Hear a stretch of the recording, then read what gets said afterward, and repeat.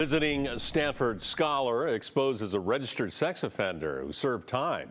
And tonight, university leaders admit they had no idea. Night Beat's Maria Medina live at Stanford with more on the university's response. Maria? Well, Kurt Mitman has been here for two months, and the university says he is in a non teaching position, but some students say it still doesn't matter.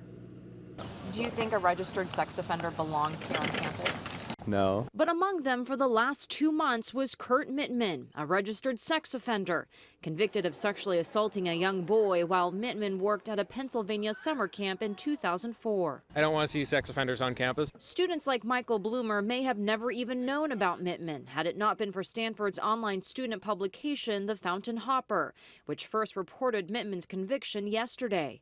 A Stanford spokesperson admitted to KPIX 5, we became aware through a media report that a visiting scholar was a registered sex offender. We are currently reviewing the facts around this matter.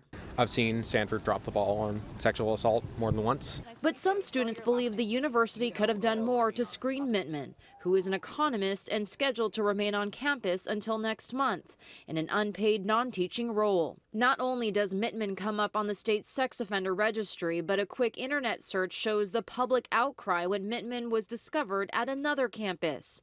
In 2007, he was allowed to leave prison for 12 hours a day to attend the University of Pennsylvania. My biggest concern is just are we making campus safer in general? Michael believes Stanford needs to do more, and not just in this case. I can only wonder what kind of failure in the system caused him not to be found out as a registered sex offender.